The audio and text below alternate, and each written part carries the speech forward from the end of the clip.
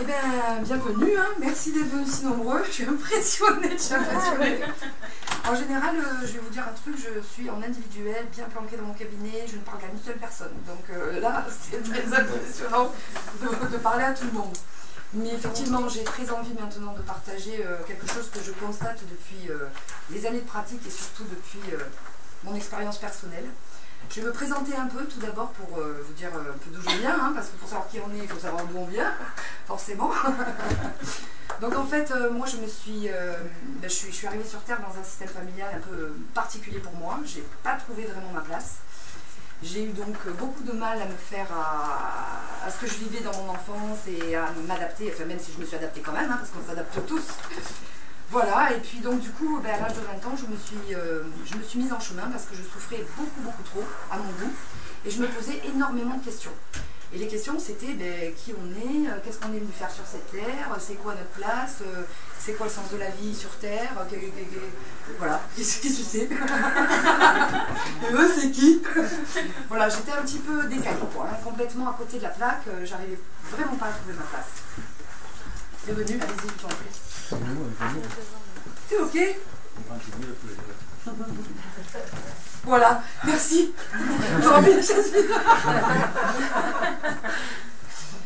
voilà, donc moi j'ai commencé par un outil euh, qui était le seul connu à l'époque, en tout cas pour moi, c'était la psychothérapie. Et j'ai continué pendant 24 euh, ans. Donc euh, j'en ai 44.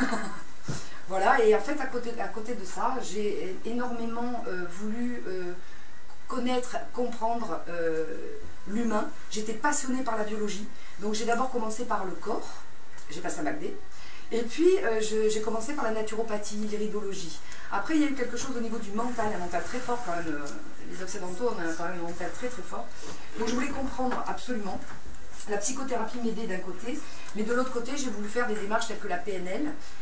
Et euh, bah oui, voilà, le décodage biologique des pathologies, enfin bon, j'en passe et des meilleurs.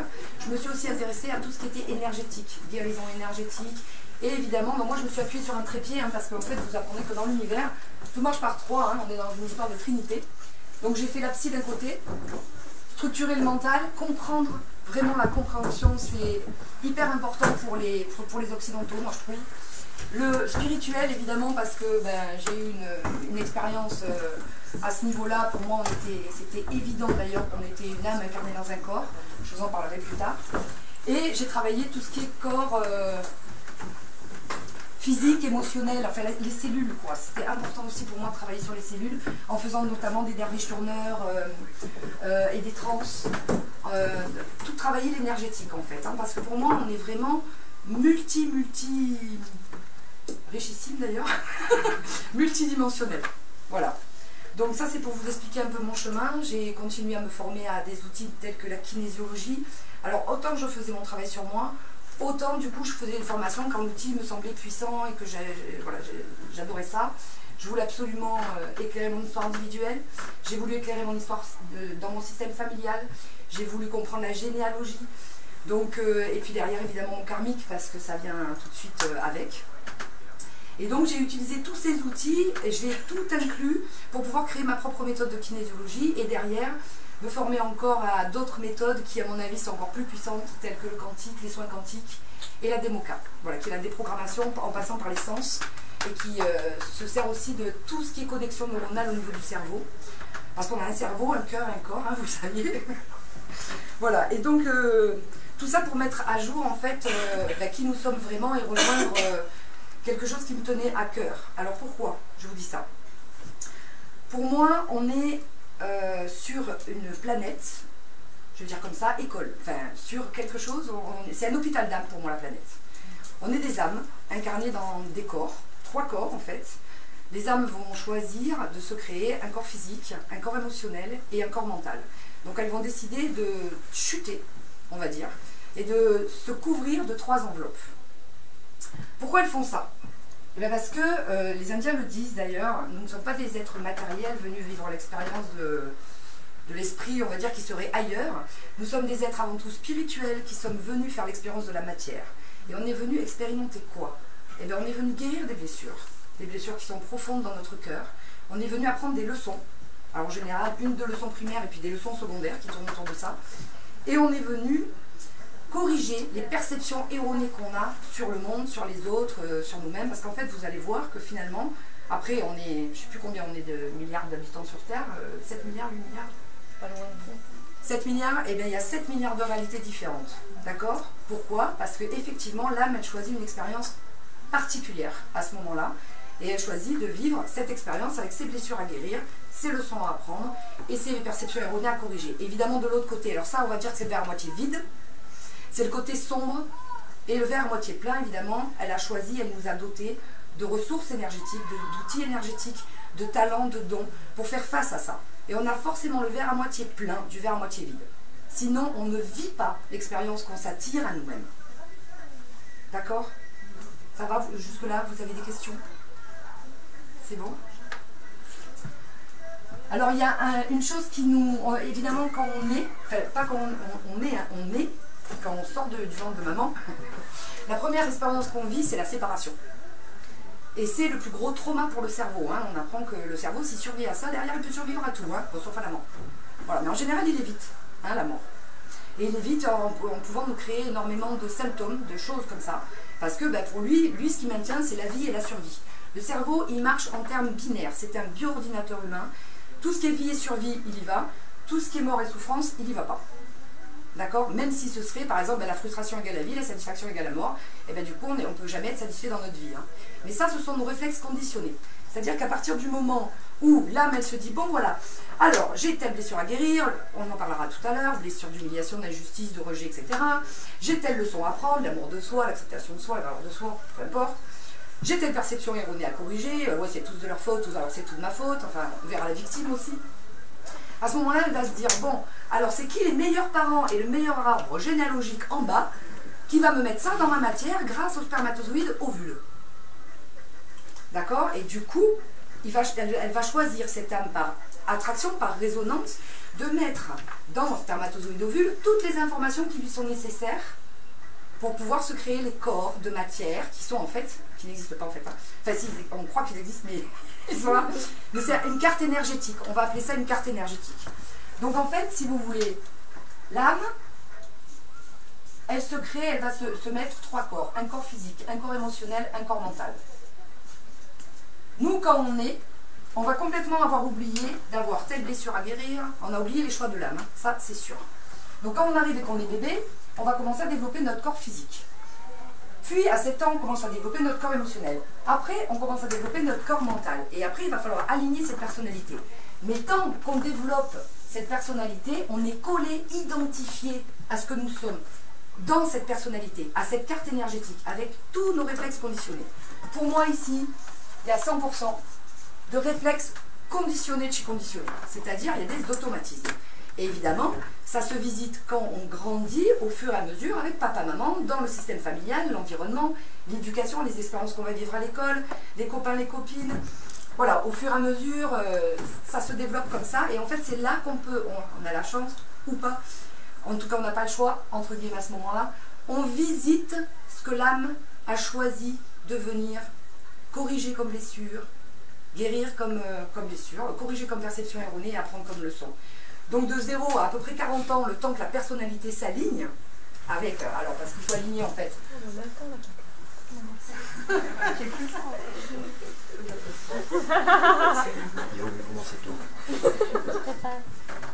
Je crois qu'il y a une place juste là si vous voulez. Ah, coucou, comment tu vas? Merci d'être présent et de votre soutien en tout cas. Hein.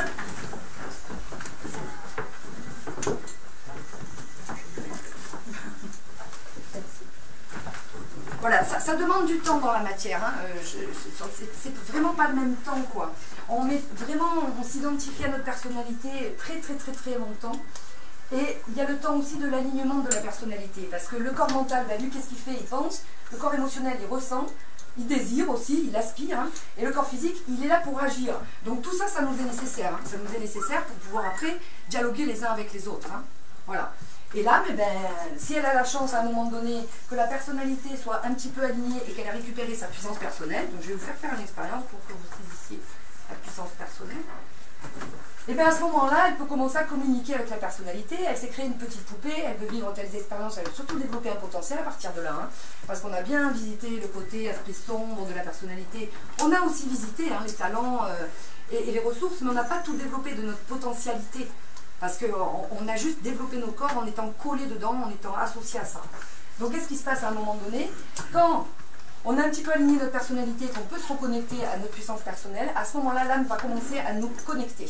C'est ce qu'on appelle à peu près la crise des 40 ans. Moi, ma crise de 40 ans, je l'ai faite à 20 ans. C'est pas grave, hein, je veux dire, euh, ça continue, hein, c'est en expansion totale, complète, et il n'y a jamais de fin à, l'évolution humaine, hein, et à l'évolution surtout de la conscience. Donc en fait, l'âme va commencer à connecter, et elle va dire, ouh, c'est pas par là qu'il faut que tu ailles, c'est par là. Et en fait, c'est elle qui nous envoie, c'est elle qui décide de toute notre vie et nous chapeaute. C'est elle qui nous envoie les épreuves et les cadeaux. Après, est-ce que nous, en tant que petite poupée, on se met au service d'elle ou pas? En général, la personnalité, elle a beaucoup de mal à s'agenouiller hein, vis-à-vis de l'âme, et c'est une grosse, grosse crise. Grosse, grosse crise parce que la personnalité, avec le corps mental qui est le dernier développé, il dit euh, Non, mais attends, tu l'as Non, non, moi, c'est sont mes intérêts personnels qui comptent d'abord et avant tout. L'âme, elle, elle pense pas en termes d'intérêt personnel, elle pense en termes de bien commun. Elle pense en termes de nous. En fait, elle ne pense pas, excusez-moi, elle sait. ce qui n'est pas pareil. D'accord? Mais elle, ce qui la fait vibrer, c'est vraiment le nous, le bien commun. Elle n'agit pas pour son intérêt personnel, absolument pas. Elle, elle est au service, on va dire, de l'esprit. Ça y est, je l'ai dit, je l'ai sorti. Alors l'esprit, lui, il est parfait, sauf qu'il ne sait pas qu'il est parfait.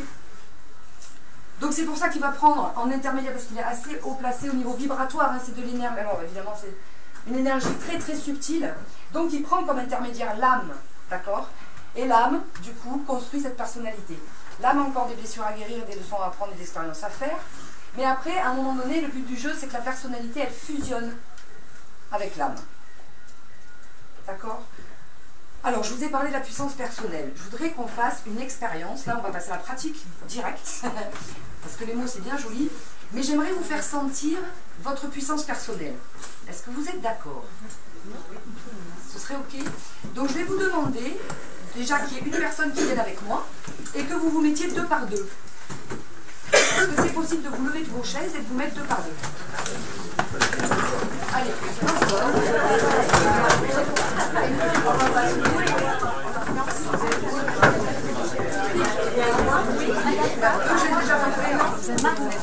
Est-ce que tout le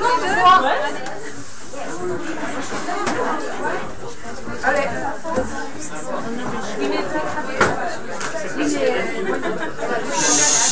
Trois secondes. J'ai besoin de votre calme et concentration. Est-ce que chacun est placé l'un vis-à-vis de l'autre Vous vous mettez face à face. Quelle est votre main directrice La droite ou la gauche? La droite, Vous prenez votre main directrice. Est-ce qu'il y a quelqu'un qui est tout seul? Il y a quelqu'un qui est tout seul? Monsieur Oui, venez, venez, il y a quelqu'un qui est là. Un droitier peut être avec un gauche Oui, oui, oui, peu importe. Bah, parce que sinon. Au côté planète gaucher ou l'autre côté planète Je trouvais que les gauchers ont quelques avantages. Sinon, je suis droitière. Alors, mettez-vous face à face. Moi, je vous demande de rester dans le silence 3 secondes pour vous mettre juste face à face de votre partenaire. Et vous allez appuyer votre main ici contre l'autre, d'accord? Et maintenant, vous allez pousser de toutes vos forces. Allez-y, poussez, poussez, poussez, poussez, poussez, poussez jusqu'à déstabiliser au moins un des deux. Hein. J'ai poussé un peu. Non, non, faut pas lever le bras. Mettez-vous voilà, mettez-vous sur...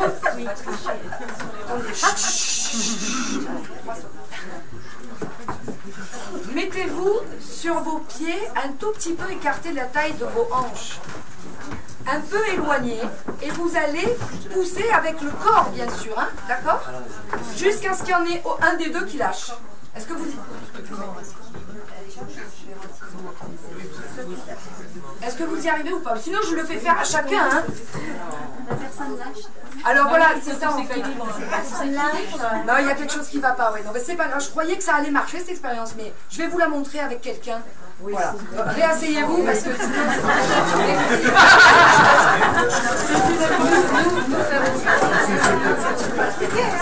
C'est une, c'est une expérience qu'on attendait, mais voilà, c'est la première fois que je faisais. Ça ne marche pas, c'est pas grave. En attendant, euh, si vous venez, si vous voulez. J'entends plus. Bon, merci de vous être prêté à ça. Je vais vous le montrer. Allez, faut que tu te- En fait, merci vous être prêté à l'expérience. Si vous voulez le faire avec moi, vous pouvez après au stand, machin, on verra ensemble là, d'accord? Donc. Gérard. Donc j'ai Gérard en face de moi. Donc on va faire l'expérience. Voilà. On va pousser, pousser, pousser. Alors lui, il penche vraiment beaucoup au niveau du corps, donc c'est un peu de la triche.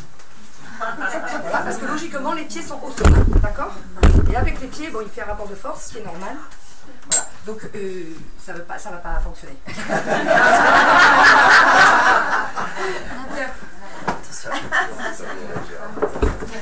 Voilà, regarde.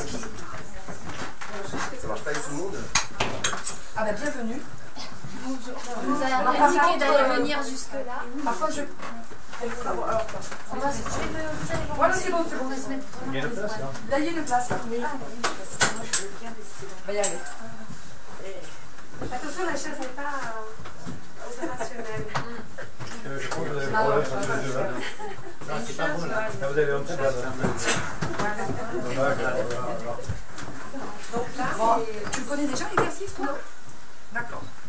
Donc en fait, c'est pas de rapport de force. Pas de rapport de force, tu pousses. Vas-y, pousse, pousse, pousse, pousse, pousse, pousse, pousse. voilà. En général, c'est ça qui se produit quand la personne, elle, elle s'est pas forcément qu'est-ce qui se passe, où elle est, etc. Je vais lui demander une chose particulière. Je vais lui dire, écoute, voilà, maintenant, tu vas te placer ici. Tu te places ici, tu mets ta, ton attention là et tu te dis, voilà, je suis qui je suis. Vas-y. Pousse. Elle est ancrée, elle est dans son alignement, elle est dans sa puissance personnelle et du coup là, il ne peut plus y avoir de déséquilibrage, d'accord? Quand nous sommes là, nous sommes ici. Tu peux y aller, maman. D'accord? Quand on se fait déstabiliser avec les rapports de force, évidemment, victime bourreau sauveur, on va en parler, et ben on est là. D'accord? Est-ce que quelqu'un veut essayer l'expérience? Bon, maintenant vous connaissez le truc, je pense que Gérard il était là, hein c'est pour ça que ça n'a pas marché. Bien. Parce que j'étais. Parce que tu étais là. Ah. À mon avis, c'est parce que tu étais déjà là. Tu étais dans ta puissance personnelle. Bon, alors, tu t'oublies, hein, tu te mets pas là d'abord, juste pour tester, juste pour expérimenter. Vas-y, pousse. D'accord? Voilà. Maintenant, tu te mets là. Je suis qui je suis. Et vas-y, vas-y. Encore un peu de mal à trouver ta présence. Mais c'est mieux. T'as vu, t'es plus ancré, etc. Donc si vous voulez mesurer ça, euh, on le fait tout à l'heure, hein, on s'amuse. hein. Merci Letty. Alors c'est quoi notre puissance personnelle? À votre avis, qu'est-ce qui nous a été donné et qui est notre puissance personnelle? Ah, Elle est déjà au niveau du cœur. Oui. Oui.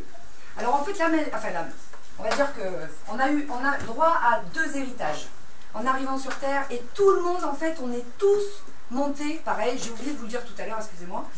C'est qu'en fait, on a tous le verre à moitié vide et le verre à moitié plein avec nos réflexes conditionnés, c'est-à-dire les ombres et les lumières qu'on va expérimenter dans notre palette de couleurs particulières. hein. Ça, c'est les formes, c'est les apparences, c'est nos différences. Voilà, on est tous différents les uns des autres, on vient tous vivre une expérience différente, particulière. Après, ben, il y a des points de rencontre ou pas. Et en fait, on reçoit deux cadeaux très précieux dès le départ. Donc à la naissance, à votre avis, qu'est-ce qu'on reçoit qui est le plus précieux? La vie. Oui, le souffle de vie. En naissant, on fait quoi? On ouvre les poumons, on fait... Et qu'est-ce qu'on reçoit? Un souffle de vie. Ce souffle de vie, il va nous accompagner jusqu'à la mort, mais c'est le plus précieux chez nous. Et ça vient nous dire qui nous sommes. Les énergéticiens chinois nous disent que dans les poumons, il y a la valeur de soi et le respect de soi. Sauf que quand on développe nos corps, qu'est-ce qui se passe? On oublie qu'on respire. C'est tellement automatisé. On ne met pas notre attention. Après, il y a des techniques hein, qui nous remettent l'attention consciente sur la respiration et qui nous permettent justement de re-rentrer dans notre valeur, dans notre précieux. Ça, c'est le plus précieux. Je vais vous dire autre chose qui est super précieux. Bon, au départ, on a du mal à le croire. C'est autant le verre à moitié plein que le verre à moitié vide. Nos réflexes conditionnés sont super précieux aussi, c'est notre valeur. Pourquoi? Parce que si on n'était pas incarné dans des corps, on ne pourrait pas communiquer ensemble. Ça, c'est notre valeur au niveau horizontal. D'accord? Donc on a la valeur verticale qui est ce souffle, d'accord? Qui est comme par hasard au niveau des poumons, et les poumons abritent le cœur. Et donc ça, c'est la valeur verticale, et il y a la valeur horizontale avec nos trois corps. Mais nos trois corps, il va falloir les rééduquer un petit peu, parce qu'évidemment, ils sont comme on dit à Marseille, café de réflexes conditionnés. Ok Donc en fait, le deuxième héritage qui nous est donné, c'est notre fameuse puissance personnelle. À votre avis, c'est quoi? Après la valeur de soi, le plus précieux, la vie, etc., quelle est notre puissance personnelle? Quel est le seul pouvoir que nous avons, nous, en tant qu'humains Ça n'a pas été donné aux animaux. L'amour, les animaux, ils ont l'amour. Le verbe. Ah Le verbe. Le verbe. On se rapproche. Du verbe, on se rapproche. La conscience. La conscience de soi. Les animaux ont une conscience aussi, mais de groupe. D'accord, mais ils ont une conscience. Donc c'est encore pas ça. Le libre arbitre. hein. Qui c'est qui a dit le libre arbitre C'est ça. Ah bah, bah oui, bah, c'est normal, elle vient à mes séances. bravo, bravo. Non mais t'as retenu la super. Oui, c'est le libre arbitre. C'est-à-dire, regardez, notre âme, elle choisit de nous remplir de 100% de réflexes conditionnés. Vous croyez qu'on en a au départ? Nous, en tant qu'individu, en tant que petite poupée qui a été construite, qu'est-ce qu'on vit? Eh ben, les épreuves qui nous sont emmenées par ces réflexes conditionnés, qui vont, de par la loi d'attraction, on en reparlera après, attirer exactement à nous le reflet de cette carte énergétique. Donc on vit quoi? Ben, J'ai pas le choix, je peux pas faire autrement, je suis obligée. Voilà, on vit les, de 0 à 40 ans, on vit des trucs, on répète les patterns qu'on a vécu dans notre famille avec d'autres symboles, c'est-à-dire parce qu'on a vécu avec papa, l'autorité, tout ça, on revit avec les flics, euh, euh, ou avec euh, la hiérarchie, ou alors avec des institutions, ou alors au travail, avec le chef, le sous-chef. Ce qu'on a vécu avec maman, on va le revivre avec d'autres symboliques, au niveau de la mer, du corps, de la matière. Enfin, on va trouver plein de symboliques. C'est ce qui va nous permettre de décoder justement qu'est-ce qui est, c'est, qu'est-ce que quoi nos réflexes conditionnés? D'accord? Et pour chacun, ils sont particuliers. Ok? Donc au départ de 0 à 40 ans, on ne vit pas avec notre puissance personnelle qui est ce libre arbitre. Quand notre personnalité est un petit peu alignée, il nous est redemandé de faire justement d'autres choix. Notre âme, elle vient nous pousser aux fesses et elle nous dit Bon, maintenant que tu as construit tes trois corps, là, et que tu as une personnalité un petit peu plus puissante, est-ce que là, quand je te mets cette épreuve, que ça fait 20 ans que tu la répètes, tu vas changer d'avis Ah non, non, change pas d'avis, parce que tous des cons Non, non, non, non, non et bien, deux minutes après, vous pouvez être sûr que même si c'est dans des formes différentes, on va de nouveau se repointer avec la même épreuve. Et tant qu'on n'a pas compris la leçon, qu'on n'a pas corrigé nos perceptions erronées, qu'on n'a pas un temps soit peu creusé dans les blessures de notre cœur pour les penser P-A-N-S-E-R, hein, pas P-E-N-S-E-R, à ce moment-là, eh ben, ça ne change pas. Donc notre film de vie qu'on qu'on s'attire à soi, c'est ça tourne en boucle, ça ne change pas. Donc le seul moyen pour que ça bouge et pour que ça change, c'est d'accepter éventuellement, si on en a le désir, hein, parce que moi c'est la souffrance hein, qui m'a mis en chemin, hein, je pense que l'âme nous envoie cette souffrance et ces épreuves pour qu'on se mette en chemin vers elle justement. Pas, euh, voilà, donc l'intérêt c'est pas forcément le résultat et que ça change le film. Moi j'ai vérifié que quand on corrige notre carte énergétique, le film il change, c'est évident, j'ai transformé ma vie. Mais quelque part, elle- elle- ça- elle- qu'est-ce que j'étais en train de dire du coup? Ça change le film change. Oui. C'est c'est de nous mettre en chemin. Voilà. Est-ce que vous avez, vous, le désir de vous mettre en chemin? Des fois, l'âme, elle ne nous donne pas le choix non plus, parce qu'elle nous dit, voilà, je t'envoie plein de souffrances, parce que comme ça, au moins, je suis sûre que tu vas t'y mettre en chemin. Et tu vas aller me le, me le réaliser, ce potentiel que je veux réaliser, et ce que je suis venue faire sur cette terre, parce que moi, voilà. Après, elle s'en fout du résultat. Si on ne se met pas en chemin, de toute façon, elle va prendre un autre corps. hein. C'est comme nous avec nos vêtements, hein, on les met à la machine à laver, on se change, etc. Et bien elle, elle, elle change. Elle s'en fout, elle a l'éternité. Donc l'intérêt pour moi, hein, en tant que petite poupée, j'allais dire, mais surtout en ayant rejoint ce cœur-là, cette unité, ce nous que nous sommes, c'est qu'en en fait, on a chacun un droit fondamental sur cette terre, c'est qu'on a tous, chacun, une place unique et particulière qui nous est réservée avec les trois formes, nos réflexes conditionnés, avec ce que nous sommes du côté vers à moitié vide, vers à moitié plein. Il y a 7 milliards de verres différents dans les formes. Mais dans le fond, on est tous montés pareil. On est tous un esprit qui a une âme et on a trois corps. On a le verre à moitié vide et on a le verre à moitié plein. Et il y a une logique. C'est-à-dire qu'on a les talents et les ressources, des obstacles qui nous sont amenés à vivre. Alors pourquoi je vous parle de, de ça? Parce que en fait, c'est juste la loi d'attraction. La loi d'attraction, bon, il y a des lois qui gouvernent la vie, tout comme il y a des lois qui gouvernent les systèmes. D'accord? Les lois de la vie, malheureusement, on ne les apprend pas à l'école. Mais ce qui est en haut, c'est comme ce qui est en bas. C'est-à-dire qu'elles sont, sont inscrites dans nos cellules, ces lois de la vie. La première des lois, c'est la loi d'unité. Nous sommes tous un. Et je remercie les physiciens quantiques qui maintenant nous rejoignent, enfin, en montrant à quel point nous ne sommes pas séparés. Sauf que nous, en tant que petit bébé, qu'est-ce qu'on fait Quand on est, on vit, le premier truc qu'on vit, c'est la séparation. Donc tant qu'on s'identifie à sa conditionnée, qu'on s'identifie à ça, eh bien on a formé la petite poupée, en fait, et on est identifié à une illusion qui est le sentiment de séparation. Voilà. Et on va croire, avec nos perceptions erronées, qu'on est tous séparés les uns des autres. Et on va commencer à agir comme c'est des victimes, des bourreaux et des sauveurs. on va commencer à utiliser de façon, on va dire, tordue notre fameux pouvoir personnel, c'est-à-dire je tape sur la tête de l'autre, ou alors je me tape sur la tête, ou alors je veux sauver le monde entier, ça c'était moi. voilà, et, du coup, en utilisant cette ligne de pouvoir, c'est vrai qu'on fait notre, notre, comment vous dire, notre connaissance, quoi. On fait notre connaissance, mais on souffre énormément des rapports de force. Mais les rapports de force, on ne peut pas les éviter, ils sont premiers. D'accord? Donc on a encore une trinité ici avec victime, bourreau, sauveur. Alors si on n'est pas victime, ça, ça marche pas. Si on n'est pas victime, hop, on est bourreau ou on est sauveur. Alors je vous ai parlé de puissance personnelle, mais en fait ça rejoint ce que je vais vous dire parce que ça c'est la ligne de pouvoir. On a deux lignes en nous. Vous avez vu, on est, arrivé, on arrive dans un monde de dualité. Il y a l'ombre, il y a la lumière, il y a l'inspire, il y a l'expire, il y a le blanc, il y a le noir. Euh. Et l'intérêt c'est de trouver le troisième élément qui va pouvoir nous permettre de réunifier le tout, mais en respectant les trois éléments. Regardez, il y a l'inspire, il y a l'expire, mais en fait le lien c'est la respiration. Il y a l'esprit, il y a la matière, mais en fait le lien c'est quoi? C'est que ça, c'est de l'énergie très subtile, et ça c'est de l'énergie dense. Ce qui change, ce qui, relie les deux, c'est l'énergie. Ce qui change, c'est quoi? C'est le taux de vibration. Alors maintenant, les physiciens, les physiciens quantiques nous montrent que tout est vibration. Tout est pure énergie. Nous sommes juste, voilà, là-dedans. Donc, victime bourreau sauveur, l'enfant quand il arrive dans la famille, il se vit en victime, c'est obligé, ou alors il y a papa, maman qui sont victimes bourreau, il va prendre le côté sauveur pour aller sauver la victime. Il prend le parti de la victime contre le bourreau. Il déteste les injustices, évidemment. Ce qui se passe, c'est que c'est l'utilisation de la ligne de pouvoir, et c'est toujours la même chose. La victime, elle se retourne sa propre énergie contre elle. Elle se juge, elle se culpabilise, elle se dit je suis pas assez bien, etc., euh, etc. Le bourreau, qu'est-ce qu'il fait? Il va taper sur la tête de la victime. Parce qu'à une victime, il faut un bourreau. Hein. Ça ne marche pas autrement. Hein. Donc il va taper sur la tête de la victime pour montrer quoi? Ben, Pour montrer que derrière le voile des apparences, qu'est-ce qu'elle fait la victime? Elle se tape elle-même sur la tête. Donc lui, il vient lui montrer exactement ce qu'elle se fait subir comme ça. Ok?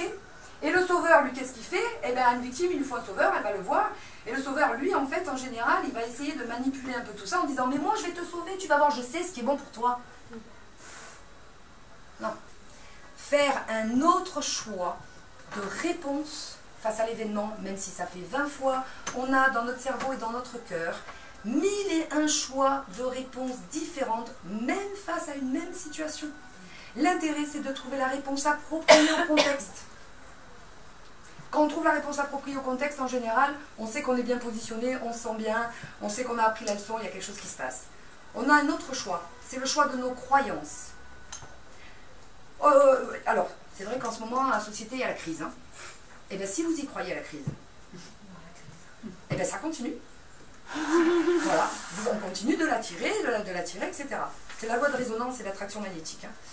Je vous explique après. Ça, c'est le choix, de croyance. Et deuxièmement, notre livre, troisièmement, c'est le choix de perception. C'est-à-dire que le seul choix qui m'est donné, c'est que je peux toujours changer d'avis et changer de regard sur les choses. Je ne peux pas changer mon passé. Mon passé, il est tel qu'il est. Par contre, à partir de maintenant, je peux changer d'avis sur mon passé. Donc l'intérêt, c'est vraiment d'aller explorer qu'est-ce que j'ai pas fini de voir, qu'est-ce que j'ai pas compris de la situation, Voilà, parce que comme on est dans un monde de dualité, en général, on voit toujours un aspect. Alors les victimes voient l'aspect vers moitié vide ou alors, euh, ou alors que vers moitié plein. hein. C'est la même erreur. hein. Et on ne voit pas l'autre aspect. On voit notre défaut, mais on ne voit pas la qualité du défaut. Et inversement. Vous voyez, donc l'intérêt à un moment donné, ça va être d'unifier tout ça. Et tout ça en faisant quoi? En se servant de cette puissance personnelle qu'on a, mais de la bonne manière. C'est-à-dire, à partir de maintenant, dès qu'il y a quelque chose qui m'est présenté, que je connais par cœur, je vais chercher en moi, mais c'est quoi ma perception erronée? Mais qu'est-ce que j'en perçois? C'est quoi ma croyance limitante? Pourquoi je ne choisirais pas une autre croyance? C'est quoi ma réponse là qui, fait que je... Et on va se voir, on va se voir complètement alimenter nos réflexes conditionnés. Mais c'est nécessaire de se voir parce que ça veut dire qu'on a fait une petite mutation. Voilà. Petit recul. Est-ce qu'il y a des Kleenex quelque part? Désolée. C'est les émotions qui se vident. Merci. Merci. Alors, je, euh, je parle un peu vite, j'enclenche, je lis absolument pas les notes, du coup. Est-ce que vous avez des questions? Est-ce que ça suscite quelque chose chez vous que vous voulez partager euh, Pourquoi 40 ans? Parce qu'en général, alors ça c'est l'enseignement d'Alice Bellé, qui est des enseignements du tibétain, je ne sais pas si vous connaissez. Moi j'ai vérifié derrière ça que c'était effectivement, euh, voilà, à la logique qu'il y a derrière le voile des apparences. C'est une fourchette, d'accord Parce que ça dépend des gens. Regardez, moi j'ai commencé mon chemin à l'âge de 20 ans. hein. Donc euh, c'est une fourchette. En fait, ce qui se passe, c'est qu'il y a quand même un temps dans la matière. C'est-à-dire qu'on met 0,7 ans pour développer notre corps physique. D'accord Après, on met 7-14 ans pour développer notre corps émotionnel. Après, on met 14 à 21 ans pour développer notre corps mental. Avec, le avec la visite, hein. on visite par nos expériences, le verre moitié vide, le verre moitié plein, euh, etc. Et encore pas tout, hein, parce qu'on n'est pas forcément conscient. On est collé à ces corps et on les développe. D'accord? Quand ces corps sont développés, à un moment donné, euh, il y a le rayon de personnalité qui va émerger un peu plus tard, parce qu'il va falloir aligner les corps. D'accord? Et le temps qui se réaligne, eh ben, ça va mettre, bon, 28 ans, et puis après, euh, c'est à 40 ans que ça émerge vraiment la personnalité. C'est-à-dire, on nous donne de entre. Ouais, c'est ça. L'individu se développe jusqu'à 28 ans, et après, on nous donne jusqu'à 40, 42 ans ou 45 ans pour, pour vraiment récupérer notre puissance personnelle et aligner les corps. Parce que souvent, on pense un truc, on n'a pas envie de le faire, et le corps, il fait autrement. hein. Donc tout ça, c'est l'expérience qui nous est donnée jusqu'à ce moment-là. C'est le temps qu'on puisse récupérer aussi notre jugeote, notre libre arbitre, notre puissance personnelle. Si on se met en chemin, hein, c'est toujours pareil. hein.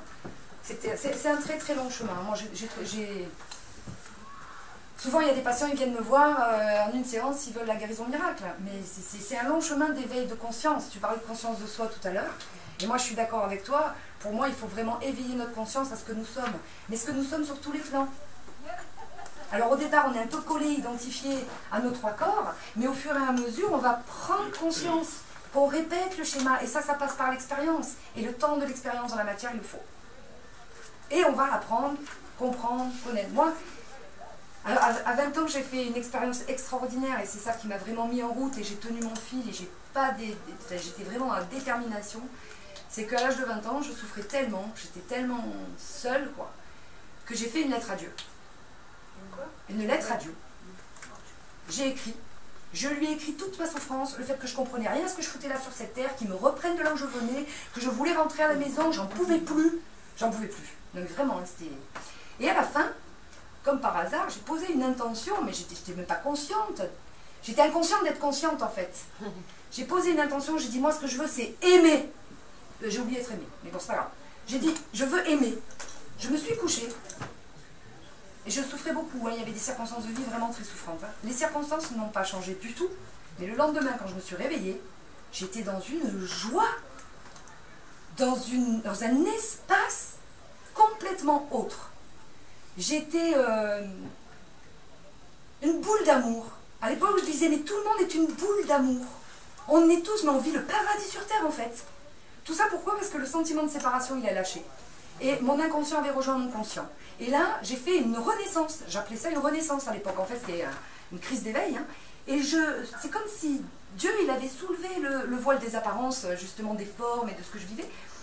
Et d'un coup, j'avais accès au vivant de la vie. J'étais cette, unité profonde, cette conscience, j'étais un puissant fond de connaissance. Mais j'étais qu'à l'instant présent, hein, je ne réfléchissais même plus.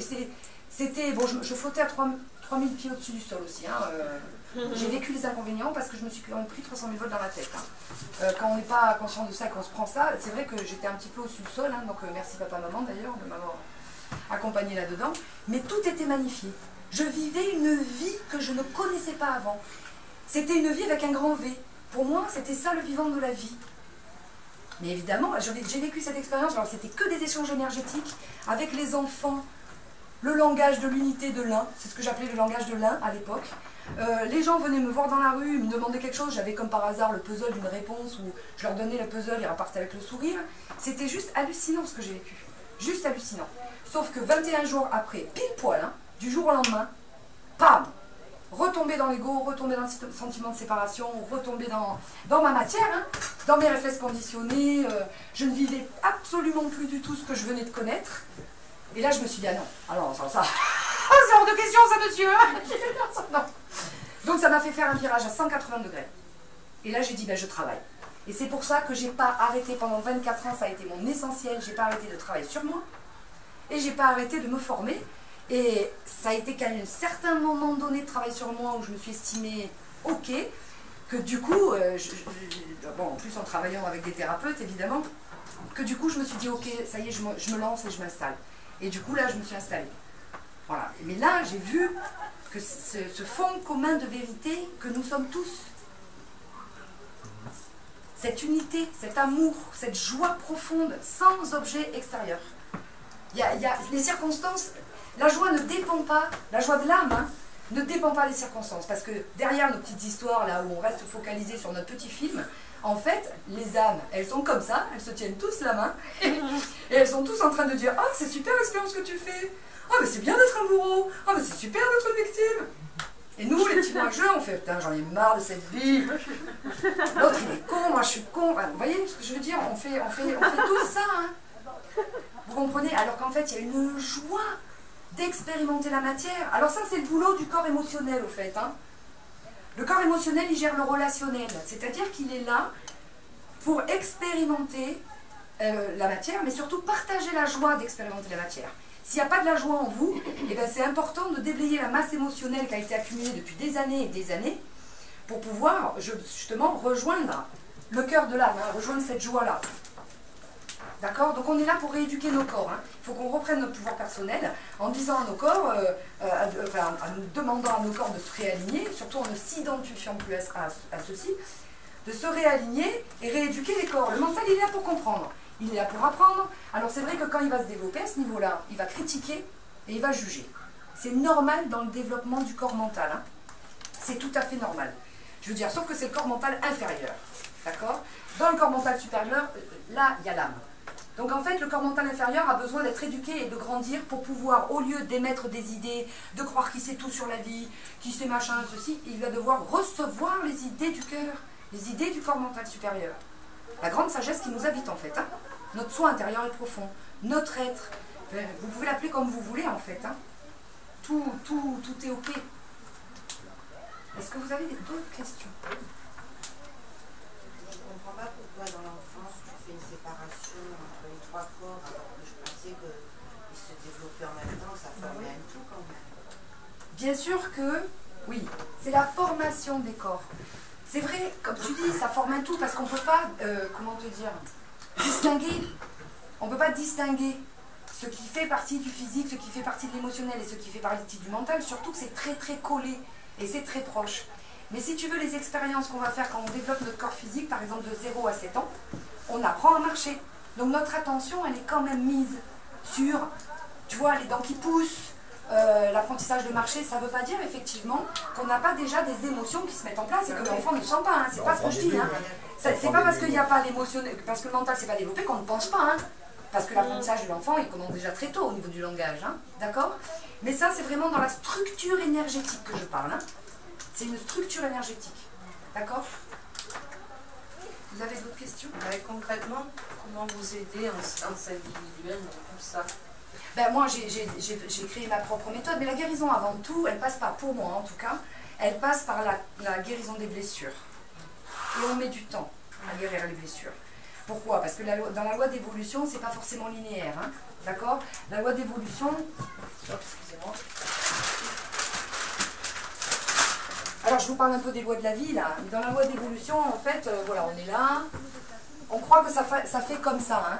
En fait, on croit qu'on vient travailler sur soi pour un bien-être personnel. C'est vrai que c'est ça au départ qui nous met en route. hein. Mais en fait, c'est pour éveiller notre conscience à ce que nous sommes. hein. L'âme, elle nous pousse aux fesses. hein. Donc en fait, on a des, des blessures. On a des blessures qui nous, faut qui nous font tomber, en fait, dans no- notre aspect vers à moitié vide. D'accord? Et on va visiter cet aspect vers à moitié vide pour trouver aussi les ressources, les éclairer, les mettre en face de soi, nos ombres. hein. C'est important d'y faire face pour pouvoir lâcher les mémoires, les conditionnements, les fausses croyances, etc. Et quand on a trouvé les ressources, on va remonter. On va faire un petit peu, voilà, par exemple, on trouve la, conf- la confiance, un peu plus de confiance, un peu plus de sécurité, et on va faire un peu plus l'expérience de la vague, euh, vous voyez Les vagues en haut, en bas, en haut, en bas. Et là, on va faire un peu plus l'expérience de la vague en haut. Mais juste après, comme on a fait l'expérience là, là, elle, elle nous dit, bon allez, moi je veux guérir un tout petit peu plus profond. Et hop, là, on tombe dans 20% de la blessure. D'accord? Et après, on fait l'expérience de trouver nos ressources, d'y répondre différemment, d'utiliser une autre perception, euh, de faire autrement, et hop, on retombe dans 30%. En fait, on fait comme ça. C'est pour ça qu'après on dit euh, qu'il y a des hauts, il y a des bas. Oui, dans le monde de la dualité, il y a des hauts, il y a des bas. Bien sûr, il y a les vagues. euh, En fait, on, on est des surfeurs, il faut qu'on apprenne à surfer sur toutes les vagues, à rester debout malgré l'impermanence de la vie. Après, il y a des techniques. Donc moi, j'étais pas là pour parler des techniques, mais moi, c'est vrai que j'ai choisi la kinésiologie, j'ai choisi la démoca, j'ai choisi les soins quantiques maintenant. Ouais, la démoca. La démoca, c'est la déprogrammation par les modes oculaires et la kinesthésie et l'auditif. Donc là, on va passer par- en utilisant les trois sens. En fait, je me suis beaucoup intéressée au fonctionnement du cerveau avec la kinésiologie et les connexions neuronales. D'accord? Parce que c'est vraiment dans les aires visuelles, ici, c'est ça qui crée nos perceptions. Donc, comme la guérison, elle vient d'un changement de perception, l'intérêt, c'est d'aller corriger nos perceptions erronées et donc euh, de vider aussi ce qui est lié à, ce qui fait qu'on voit le monde comme ça, ou le monde comme ça, ou le monde comme ça. Donc la kinésiologie, c'est vraiment pour une compréhension plus consciente des schémas psycho-émotionnels qu'on est en train de se jouer. Et ça, ouvre aussi d'autres connexions neuronales. Et Demoka, c'est pour lâcher la masse émotionnelle. On va permettre au système limbique du cerveau de se vider. D'accord? Je ne sais pas si vous avez remarqué, enfin vous savez peut-être ou pas, quand on est dans le sommeil, il y a un mouvement comme ça, des yeux, dans le sommeil paradoxal. Vous savez ce que fait le cerveau quand il y a ce mouvement? En fait, il est en train de trier les informations du cortex. Toutes les informations que le cerveau s'est pris dans la journée, elles se trient comme ça. Les neurones au niveau du cortex agissent de façon lente. Tout ce qui n'est pas urgent, tout ce qui est facile à gérer pour vous dans votre vie quotidienne, etc., c'est le cortex qui prend en charge. D'accord Dès qu'il va y avoir un choc, un trauma, un- un bless- une blessure, une punition, euh, euh, un accident, etc., c'est le cerveau limbique qui prend le relais. Et qui enregistre. Pourquoi? Parce que dans les, les neurones, ils ont un rythme très rapide. Eux, c'est eux qui prennent le relais dès qu'il y a une urgence. Et en fait, quand il y a ce mouvement paradoxal des yeux, là, qui se fait, ça ne va pas chercher les informations qu'il y a dans le limbique. Et c'est pour ça qu'on commence à accumuler dans le limbique et dans nos corps des grumeaux de la pâte à crêpes, j'allais dire des émotions. Des émotions qu'on ne va pas lâcher à 100%. Je suis un enfant, j'ai 7 ans, je perds mon papa. Alors je vais pleurer un peu, mais je ne vais pas vider les 100% du chagrin. Pourquoi? Parce que je vois maman qui est rétamée et que je veux l'aider aussi. Et on, ne vide jamais son chagrin à 100%, on ne ressent jamais les choses à 100%. Donc on commence à accumuler dans le cerveau et dans le corps des émotions, de la charge émotionnelle négative, qui vont effectivement aussi intervenir pour les perceptions qu'on va avoir. D'accord? On va prendre des décisions avec les émotions qu'on va vivre.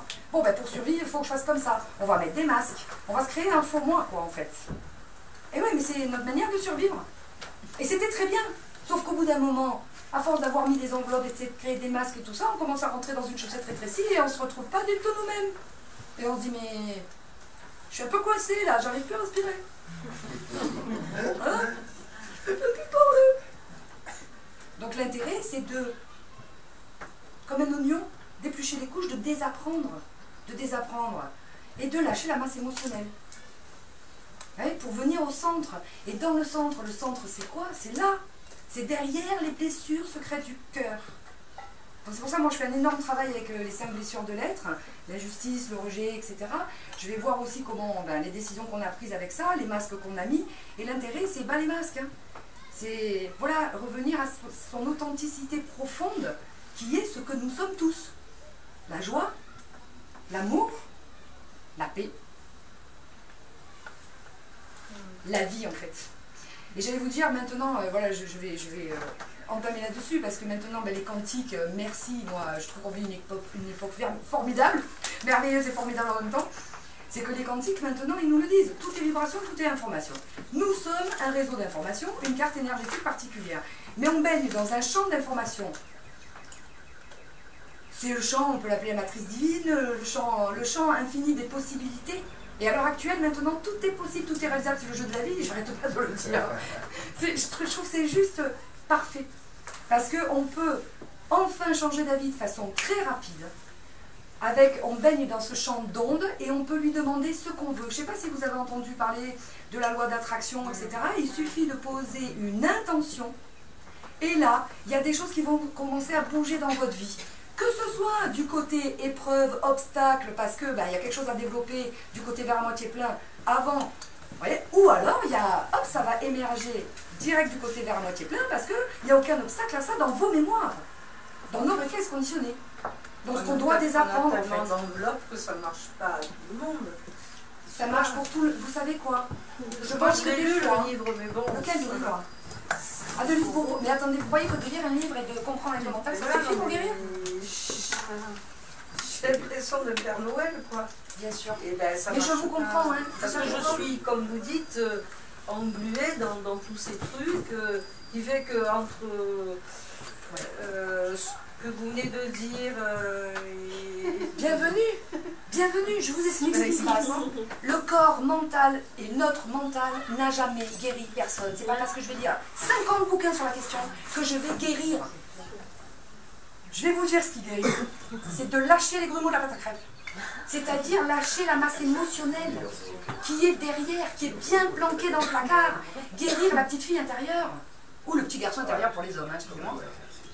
Parce que la petite fille qui n'a pas pu pleu- pleurer la mort de, papa, eh ben elle est Elle est sous le tapis ou elle est enfermée dans le placard? Parce que le mental il a dit non mais attends, il faut survivre là, hein, on est fort, on va soutenir maman. Viens, on fait comme ça. On va, on va survivre comme ça. Donc on est conditionné, on a une stratégie de survie qui est conditionnée comme ça. Et on va y tenir à notre stratégie de survie, hein, jusqu'à se rendre compte que ça ne marche pas. Ça ne marchera jamais. Parce que c'est super figé. C'est ce que j'appelle la cristallisation. Et évidemment, nous qui sommes logiquement une énergie super fluide, et bien là, il y a des grumeaux à la pâte à crêpes. Alors du coup, vous mangez des crêpes avec des grumeaux, vous? Non, Eh bien, tous les jours, on en mange, je vais vous dire. hein. Hein? C'est pas évident pour les enlever. Mais c'est évident, et je vous parle d'un long, long, long, long, long chemin. Un long chemin. Sauf que le mental, ou l'ego, il veut absolument avoir un résultat. L'âme, à partir du moment où vous faites un pas vers elle et que vous l'écoutez, elle veut pas de résultat. Elle peut mettre 50 vies, 500 vies à réaliser son truc, elle s'en fout. Si la leçon, c'est de passer de la frustration à la satisfaction, eh ben, la petite poupée faire le travail, mais si la petite poupée elle n'arrive pas à faire le travail, elle va choisir une autre petite poupée pour continuer le travail. Et puis je vais vous dire, on fait toujours des pas en avant, surtout quand on développe le mental, à savoir le pourquoi du comment. On fait des pas en avant. Mais ce qui nous guérit vraiment, c'est de mettre du cœur sur nos blessures et c'est vraiment de lâcher les vieilles, les vieilles émotions de souffrance, d'impuissance, de l'enfant qui s'est senti mais vraiment impuissant face à tout ce qui lui arrive, de cet environnement dans lequel il arrive, alors que c'est super brutal pour lui, alors que lui, il est pure conscience au départ, hein. sans être conscient qu'il l'est, mais voilà. Donc l'intérêt, c'est quoi? C'est à un moment donné de développer cette conscience et de s'accompagner et de rééduquer nos trois corps pour pouvoir les amener à changer la vie, surtout le mental. Mais le mental, qu'est-ce qu'il fait? Il nous juge, il nous critique, il nous renvoie un t'es pas assez ceci, t'es pas assez cela, et tac tac tac, et c'est ta faute, et tu vois, tu arrives pas, et voilà, et t'as encore pas assez de. Mais je vais vous dire, en faisant comme ça, on cristallise le scénario encore plus, et les grumeaux de la pâte à crêpes, ils restent encore plus figés. Et la petite fille qui est dans le placard émotionnel en attendant d'être euh, vue, accueillie, reconnue, entendue, serrée contre le cœur, ah ben, elle sort toujours pas du placard, hein, parce qu'elle se fait taper sur la tête non-stop. C'est la réunification, c'est la réunion, c'est la, c'est la, la reconnaissance de chaque partie de soi-même, et surtout au niveau émotionnel, qui va faire la différence. Parce que quand vous levez les grumeaux de la pâte à crêpes, l'énergie elle recircule de façon plus fluide et plus légère. Ça modifie votre carte énergétique. Du coup, de par la loi d'attraction, qu'est-ce que vous attirez? Un autre film. Alors pas tout de suite, euh, ça y est, un autre film, machin. Non. Mais vous êtes allé du côté du metteur en scène pour changer un tout petit peu le film quand même. Parce que sinon, avec votre mental, vous faites quoi? Vous êtes un metteur en scène. Vous êtes le spectateur et vous vivez votre film. Vous êtes l'actrice aussi. D'accord? Ou l'acteur, hein? Qu'est-ce qui se passe? Le mental, quand il regarde le film, il me dit Mais Moi, ça ne me convient pas du tout, ça. hein. Alors, mais pas du tout. Mais plus du tout d'ailleurs. Prends un couteau, allez, vas-y, va taper sur l'écran. Tu vas voir le film, il va changer. Tape sur l'écran. Est-ce que le film a changé? Allez, l'écran est massacré. Hein. Mais le film, il change pas. Parce que c'est pas du tout une façon efficace de faire. Et en plus, on perd beaucoup d'énergie et on s'épuise énormément. Énormément. J'ai essayé moi aussi. hein. Vous savez quoi? Ça fait 24 ans. Et je continue de remettre sans arrêt le tissu à l'ouvrage, sans arrêt. Sauf que j'ai gagné en bienveillance avec moi-même. J'ai gagné en douceur. J'ai gagné en acceptation de moi. J'adore regarder mes ombres. parce que ça met de lumière. Et j'adore développer aussi ce- cet aspect où je dis Ah, tiens, là, c'était pas la bonne réponse. Encore une fois, je me, vois re- re- retomber, on va dire. Et ben, je m'accueille, j'accueille la petite fille, je lui dis Écoute, c'est bien, t'as monté un quart de marche. Ça va. Et puis on continue. Mais je sors ma petite fille du placard. J'ai sorti tout le monde du placard. Et s'il y en a encore qui veulent sortir, mais c'est bienvenu. Sauf qu'à un moment donné, il faut se réunifier. Mais la petite fille, il faut la faire sortir du placard pour guérir la blessure du cœur. hein. Vous n'avez pas le choix. Après, c'est un désir. On peut avoir, on a le libre choix de dire à l'âme, tu sais quoi, moi je vis ma vie comme ça, et puis on verra bien plus tard. hein. On a le choix. C'est le choix de se mettre en chemin, ou le désir de se mettre en chemin, ou pas. Après, le mental, quand il se bat comme ça avec l'écran, sachez que c'est pas la bonne stratégie. hein. Mais en général, c'est ce qu'on fait les premiers temps. Je l'ai fait moi. J'ai vu que ça marchait pas. J'ai compris que nos j'arrive. Ce sont nos perceptions qui créent nos expériences. Si on change nos perceptions, nos expériences changent. Ce sont nos croyances conscientes et inconscientes qui créent nos expériences. Jung disait tout ce qui est planqué. Alors, on est un iceberg, hein, d'accord? En fait, on voit que ça. hein. Vous savez ce qui nous gouverne? C'est les schémas inconscients et subconscients. hein. Jung disait tout ce qui n'est pas monté à votre conscience se présente à vous sous forme de destin. C'est-à-dire que dès que vous êtes prêt à voir quelque chose de vous, que ce soit du côté lumineux ou, ou sombre, vous vous attirez l'expérience pour vous regarder vous. Vous changez d'avis, vous montez ça à la conscience, vous montez un schéma psycho-émotionnel à la conscience, vous changez d'avis, vous réattirez plus ça sous forme de destin. Vous comprenez? Mais des fois, il y a un gros caillou, ça peut durer 20 ans hein, avant qu'il bouge. hein. Et puis à un moment donné, il se met à bouger, et puis à un moment donné, hop, et puis après ça bouge, et puis ça rebouge. Mais ça n'empêche pas de vivre sans arrêt les mêmes expériences quand on n'a pas compris la leçon. Ça va? On n'a pas dit, ah, euh, on n'a pas dit que ce serait confortable et évident, hein, ça c'est sûr. hein. Oui? Donc en fait, le côté mental, il ne permet pas obligatoirement de euh, d'évacuer les émotions, si j'ai bien compris. Absolument. Voilà. Parce qu'il ne fonctionne pas du tout comme le corps émotionnel. Voilà. Euh, par contre, pour pouvoir se guérir de ces émotions, pour pouvoir les relâcher, sans passer obligatoirement par une thérapie ou une pratique, euh, il n'y a pas un, moyen pour qu'effectivement le mental se rende compte du corps émotionnel, lui accorde de la tolérance, euh, qui fasse qu'effectivement les émotions puissent être lâchées, et ainsi de suite. Effectivement, le truc à faire pour accueillir ce qui se soulève à l'instant où ça se soulève, c'est le cœur. hein. L'accueil. Ça se soulève en moi. Eh bien, il faut que je l'accueille, quoi. Il faut que je le voie et que je le reconnaisse. Le meilleur moyen de dissoudre une émotion, c'est de la laisser s'exprimer pleinement. Pleinement. Mais en général, le mental, il fait Ouh là là non, non, non, non, ça c'est dangereux, hein, t'as déjà souffert de ça, tu vas pas ressouffrir, hein. Viens, non, non, non, viens, on fait comme ça. Et il nous entraîne dans des agitations à l'extérieur à les taper sur l'écran. Alors que si on s'assoit trois minutes et qu'on laisse monter la tristesse, et qu'on qu'on se met dedans, et qu'on on nous donne toute l'attention, et bien là, ça se dissout beaucoup plus vite que ce que le mental y croit. D'accord? Et du coup, ça permet effectivement de guérir plus facilement. Vous parliez de tolérance, moi je trouve la tolérance c'est une qualité de l'âme. D'accord? Moi j'aime bien euh, dire l'accueil, c'est plus facile d'accès, euh, c'est aussi une qualité de l'âme. hein. Euh, voilà, c'est Mais c'est sûr qu'en étant dans une compréhension aimante, c'est-à-dire en ayant marié ou en, mettant du cœur sur le mental aussi, ça fait fondre un peu ces stratégies de survie qui sont très crispées, très figées. Plus vous mettez du cœur dessus en sachant que tout est juste derrière ce voile des apparences, même si pour l'instant mental n'a rien compris, et plus l'émotion se permet de monter à la surface pour être dissoute, parce qu'elle se sent acceptée. Vous savez ce qui se montre à nous? C'est des parties de nous qui ont juste besoin d'être vues, entendues, reconnues, pour la ligne de pouvoir détendue, et serrées contre le cœur. C'est la seule chose que ces parties-là de vous-même, elles veulent. C'est tout. Donc l'intérêt, c'est d'accepter, effectivement, mais on met un certain temps avant, hein, d'accepter tout ce qui se soulève chez nous à chaque instant, y compris l'agitation, le sentiment d'impuissance, la, colère. Moi, la colère, hein, alors j'ai un outil pour vous, si vous voulez, qui est juste extraordinaire. C'est ce qu'on appelle un outil chamanique que j'ai rencontré.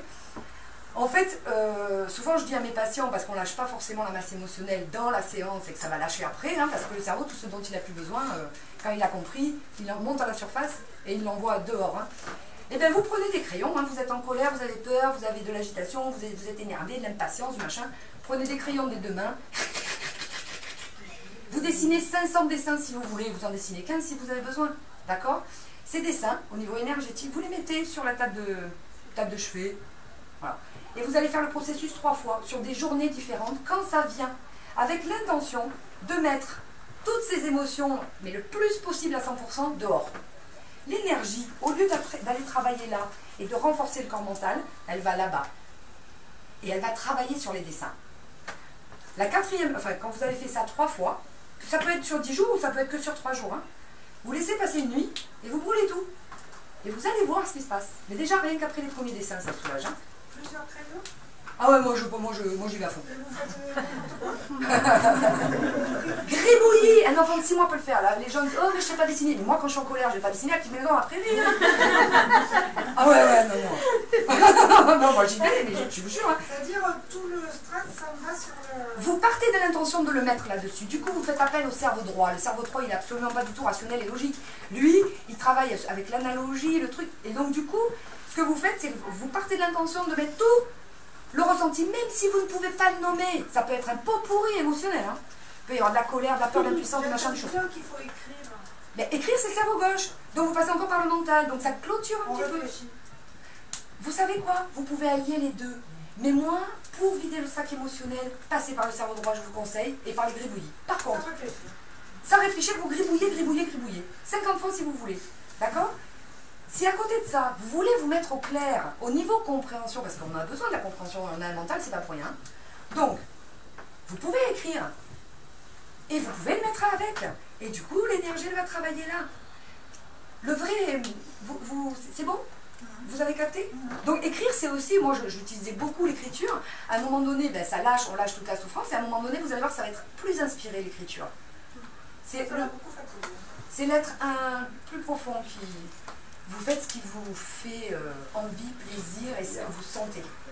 Mais il y a plein d'outils. Il y a plein d'outils. À l'heure actuelle, c'est tout ouvert, quoi. C'est génial. Je voulais juste vous dire, il faut faire une différence entre les émotions que crée le mental inférieur, c'est-à-dire, euh, genre, il vous crée de la colère parce qu'il n'obtient pas ce qu'il veut, parce que ça marche pas comme il veut dans le monde extérieur, etc.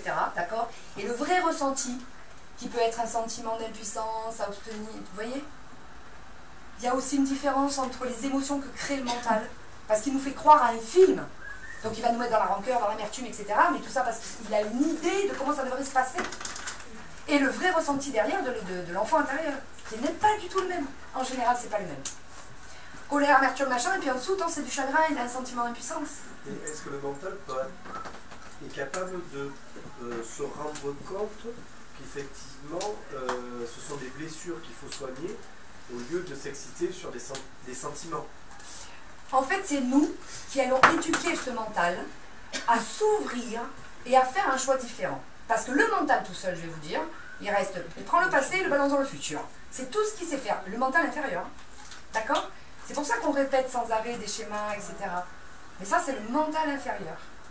Le mental est capable de euh, regarder en arrière dans son passé pour faire une- une- un pansement des blessures pour... euh, Ça va être un, un ensemble. Bien sûr que le mental, il est capable. Vous vous souvenez avec le mental? Vous avez des, des- une mémoire, et vous avez une croyance, vous avez des choses comme ça, d'accord? Mais il y a toujours l'émotion qui est assortie avec. Vous voyez? Donc c'est un- une, une globalité. C'est parce que vous allez mettre de la conscience. Vous parlez de la conscience de soi.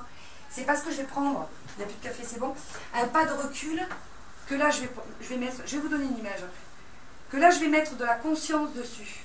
Et parce que je vais devenir conscient, même si je répète, je ne suis plus dupe. À partir du moment où je ne suis plus dupe, je ne suis déjà plus collée au film que je vis. Et c'est ça qui fait la différence. C'est vraiment ça qui fait la différence. Moi, je disais aux gens, euh, souvent en cabinet, quand ils viennent me voir, écoutez, imaginez, vous êtes un cocher. Ça, c'est votre être. Sur un carrosse. D'accord? Ça, c'est votre cœur, l'âme. D'accord? Le siège de l'âme. Et puis, ce carrosse, il est mené par trois chevaux. Le corps physique, le corps émotionnel, le corps mental. En général, les premiers temps, c'est les chevaux qui, hein, qui conduisent le, carrosse. hein. Alors, le cocher, il est comme ça, hein, il suit et tout. Mais regarde, avec bienveillance. Parce qu'il sait très bien que ce qui se développe sous ses yeux, c'est parfait, c'est ses choix. D'accord? Mais au départ, nous, on est collés du côté des trois chevaux et on se fait embarquer par les chevaux. hein. D'accord? Quand on commence comme ça à faire un petit travail de questionnement, de recul, etc., on commence à pouvoir être de plus en plus du côté du cocher, le libre arbitre, qui je suis, d'accord Pour dire aux chevaux, bon écoute, attends, là tu vois bien que ça marche pas, viens, on passe par là. Donc c'est nous qui rééduquons nos corps. On peut appeler les trois chevaux l'ego, la personnalité. Euh, on peut. L'ego, c'est celui qui a le sentiment de séparation. Hein D'accord C'est vraiment ça. hein. C'est ce qui couvre les, trois corps que je vous ai montré tout à l'heure. D'accord? Mais plus vous vous identifiez à ce que vous êtes vraiment, c'est-à-dire ce cocher et ce carrosse, plus vous allez pouvoir rééduquer les corps. Et c'est notre travail d'humain. Pour passer du petit humain au grand humain, avec un grand H, parce que nous sommes des grands humains en fait, c'est important de rééduquer nos trois corps. En fonction de quoi? Des lois de la vie. Parce qu'en fait, les lois de la vie, je vous en ai parlé au début, bon, j'en ai j'ai pas trop développer, mais c'est ça qui gouverne. C'est pas l'humain qui fera plier les lois de la vie. hein. C'est les lois de la vie qui nous font plier. hein. Et nous, quand on s'amuse à transgresser comme on transgresse à l'heure actuelle ces lois de la vie en se prenant pour des dieux, alors que nous ne sommes que les fils et les filles de Dieu, entre guillemets, fils du vivant, hein, si vous préférez. hein. Pour moi, Dieu, c'est le vivant de la vie qui est dans toutes nos cellules. Et c'est tout ce champ dans lequel nous baignons. Donc en fait, je sais plus ce que je disais, voilà, j'ai perdu mon fil. Les lois, les lois de la Ah oui, si on s'amuse comme ça à transgresser les lois de la vie, on en paye le prix. Par contre, au fur et à mesure qu'on apprend et qu'on comprend comment ça marche, les lois de la vie, quand on arrive à se soumettre à ces lois, à dire ok, la nature elle est plus forte que moi, la vie elle est plus forte que moi, donc ok, je m'agenouille, à ce moment-là, ça devient comme par hasard plus facile, plus rapide. Et au fur et à mesure qu'on monte comme ça sur ce chemin d'évolution, c'est de plus en plus. Voilà, au lieu de faire des pics comme ça, on va être dans des collines et des vallées. C'est mieux hein, que les hautes montagnes. hein. Enfin, il y en a qui aiment. Hein D'accord C'est ok ça? Alors, pourquoi je vous parlais de la loi d'attraction? Parce qu'en fonction de la carte énergétique et des réflexes conditionnés que l'âme a choisi de mettre dans votre corps en choisissant spermatozoïde ovule, hein, d'ailleurs on choisit les parents parfaits pour soi, hein, et bien à partir de ces réflexes conditionnés, c'est la loi de résonance qui marche. Elle marche au niveau de l'âme et au niveau du corps émotionnel. D'où les grumeaux de la pâte à crêpes qui attirent exactement toujours les mêmes choses pour pouvoir sortir et s'évacuer, enfin que la petite fille du placard ou le petit, garçon sorte. hein. C'est une loi de résonance qui fait qu'on attire exactement ce que nous sommes dans l'iceberg, dans la carte énergétique, dans nos réflexes conditionnés. Donc à chaque fois que vous vous attirez une situation, un événement, une personne, etc., c'est de vous que ça parle. Que ce soit du côté des réflexes conditionnés ou que ce soit du côté de l'âme. De toute façon, c'est la même chose. Nous, on est là pour fusionner avec l'âme et être au service de la vie, de la vie que nous sommes aussi. C'est à la petite poupée de choisir. Et la vérité, en fait, au, bout d'un moment, elle se dévoile. Vous savez, les Grecs, moi j'aime beaucoup leur notion de la vérité, ils appellent la vérité aletheia. Et aletheia, c'est une vérité qui se dévoile. Et en fait, quand vous faites un pas en avant vers l'âme, elle vous indique le prochain pas. Comment on fait pour le savoir, le prochain pas? On regarde juste qu'on vit dans notre vie de tous les jours. On part sur la matière qu'on est en train de vivre dans notre vie de tous les jours. C'est très concret la spiritualité. hein. Ça se vit au quotidien. Et c'est dans notre corps que ça se passe. hein. Nous ne sommes pas séparés du vivant de la vie que nous sommes. Et on attire à nous exactement ben, le petit truc qui est encore à corriger, ou alors euh, le beau cadeau, le beau trésor qu'on vient de développer. On a un cadeau à chaque fois qu'on fait un pas vers l'âme aussi, hein. même si ça passe par une épreuve. Vous savez, les Grecs aussi, ce qu'ils appellent euh, probléma, ce que ça veut dire probléma pour eux? Vous savez ce que c'est? Ce qui est là. Probléma en grec, ça veut dire ce qui est là. Je parlais des perceptions tout à l'heure. Notre grosse souffrance, c'est qu'en fait, ce qui est là, on ne le voit pas parce qu'on met, on colle une image sur ce qu'on croit qui devrait être là ou sur ce qu'on croit qui est. Et c'est ça la grosse problématique, c'est les perceptions qu'on a de ce qui est là déjà.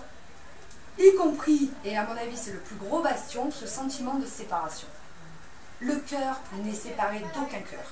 Je vous garantis que quand on vit ici, donc qui je suis, donc qui nous sommes en fait, on peut faire de mal à personne. C'est impossible, parce qu'on sait que si on va lui mettre une baffe, on s'en met une à nous. Et il y a quelque chose qui ne marche pas. Quand on est dans le cœur, c'est autre chose qui fonctionne. On, on est vraiment en lien avec euh, le vivant de la vie, qui est tout amour. Et qui est joie aussi, et puis qui peut être paix aussi.